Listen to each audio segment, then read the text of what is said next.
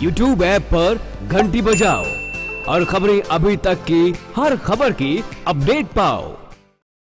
वहीं शिक्षित युवा सम्मानित हुआ। इस नारे के साथ में हरियाणा सरकार ने एक महत्वाकांक्षी योजना शुरू की है। और ये योजना की हकीकत बेहद सोचनीय है। प्रदेश सरकार इस योजना के ज़रिए पढ़े लिखे युवाओं के साथ मज़ाक कर रही है। प्रदेश में हालात ऐसे हैं कि ग्रेजुएट और पीजी डिग्री धारक बेरोजगारों को सरकार गोबर उठाने के लिए सक्षम बना रही है। बेरोजगारी का दंश ऐसा है कि ये युवा गोबर उठाने से भी गुरेज नहीं कर रहे हैं, पर उन्हें इसके लिए भी अपमान झेलना पड़ रहा है।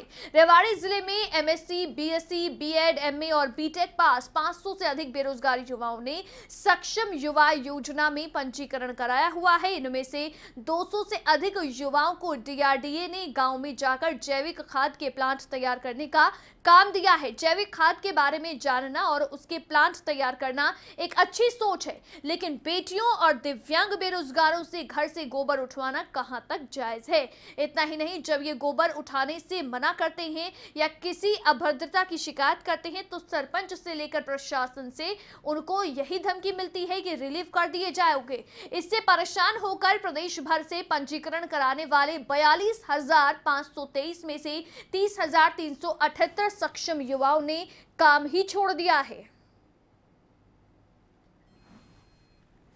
तो गोबर उठाने को मजबूर हो रहे हैं। प्रदेश के पढ़े लिखे युवा और साथ ही युवाओं के साथ में मज़ाक जो है इसे माना जा रहा है, क्योंकि अच्छे पढ़े लिखे युवा जो हैं, उनको आज गोबर उठाने के लिए विवश किया जा रहा है। सक्षम युवा योजना बनाई गई सरकार की ओर से, जो अब मज़ाक बनकर रह गई है।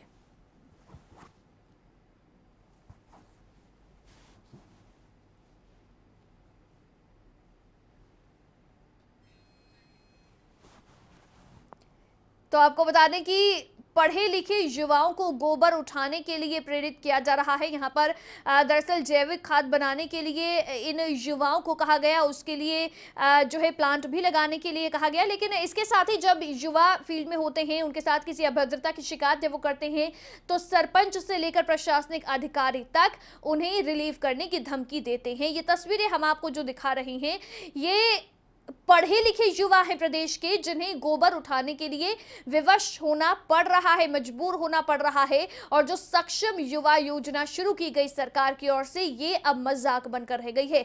दिव्यांगों को यहाँ पर गोबर उठाने के लिए दिव्यांगों को भी लगाया गया है और ऐसे में जो सरकार की ओर से कहा गया युवा योजना, ये शुरू की गई, सक्षम युवा योजना शुरू की गई, जिससे कि पढ़े लिखे युवाओं को रोज़गार देने की बात थी। तो अब कहीं ना कहीं इन तस्वीरों से जो साफ़ हो रहा है कि ये युवा योजना, सक्षम युवा योजना महज एक मज़ाक बनकर रह गई है, क्योंकि यहाँ पर पढ़े लिखे युवाओं को गोबर उठाने के लिए मजबूर होना पड़ रहा है। एमएससी, बीएससी, बीएड पढ़े हुए युवा जो है वो आज प्रदेश में बेरोजगारी की इस हद तक तक बेरोजगारी जो है बढ़ गई है कि गाँव में गोबर तक उठाना उन्हें पड़ रहा है।